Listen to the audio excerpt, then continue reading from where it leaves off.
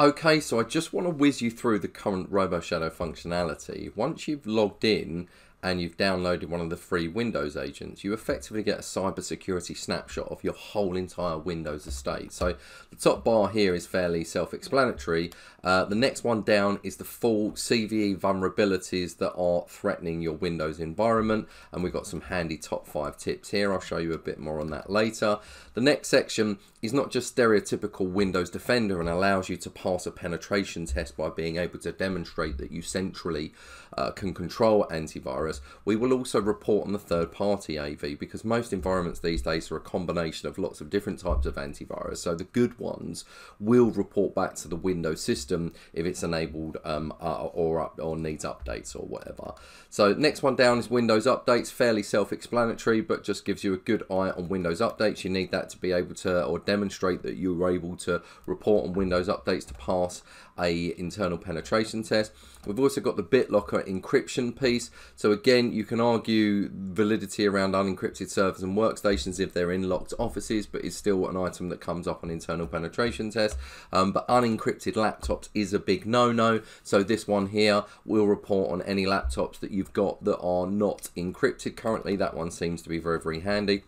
And this is one of the things that people miss quite often is the ability to reconcile with what they call in a penetration test primary user store. So that can be either um, on-prem Active Directory, Windows um, uh, Active Directory in, in, Azure Active Directory, um, or um, something like Google Workspaces or something like that. So what this allows you to do is it will set, you'll set up a synchronization job and you can do that via this menu and then you can see what machines don't have a RoboShadow agent on and are therefore not being controlled from a cybersecurity perspective, or at least reported on from a cybersecurity perspective. So your ability to reconcile with a primary user store is one of the fundamental failures that we see in a lot of penetration tests. So, so that's effectively the main dashboard. But I'll go into um, a couple other bits in a second just to go into a bit more detail on some of the things we've spoken about previously. But also we have an external scanner. So this is for your full external attack surface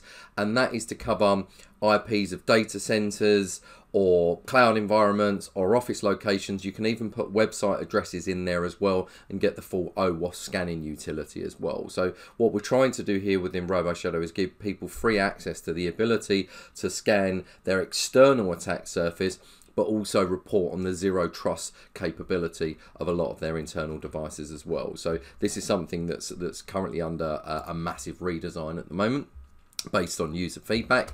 So in terms of uh, the vulnerability report, so this is, we think, fairly new from an industry perspective. So people get obsessed with individual CVEs, but what you want to understand is what's my worst individual app?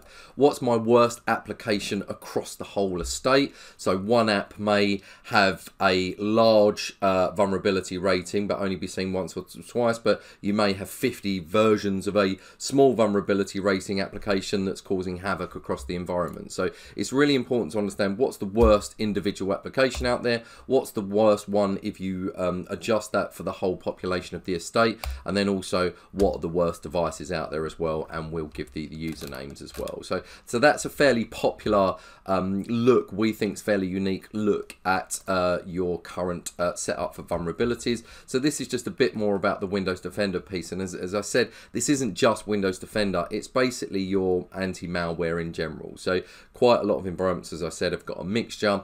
This will allow you to understand the core fundamental principles. It gives you the full Defender items, including ransomware and tamper protection as well, um, but will um, go into detail in terms of if it spots third-party AV and if it feels that there are something that needs to be updated or enabled in the third-party AV.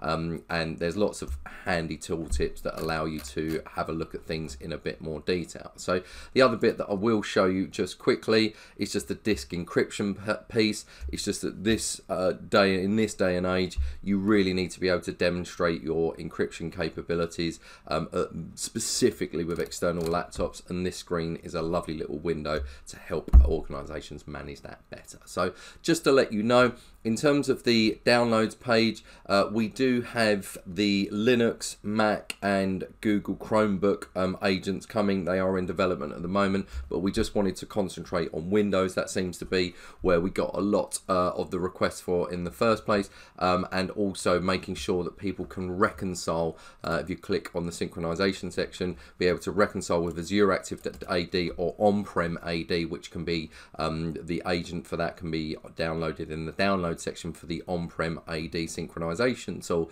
But effectively, this screen is where you can see what machines have come onto the network um, in X amount of time and which ones are agentless so that you can get your team on making sure that you're tidying up some of the agentless machines out there. So I think that's about it for this video, but I will do a few more smaller ones just to go into some more detail on some other areas of the product.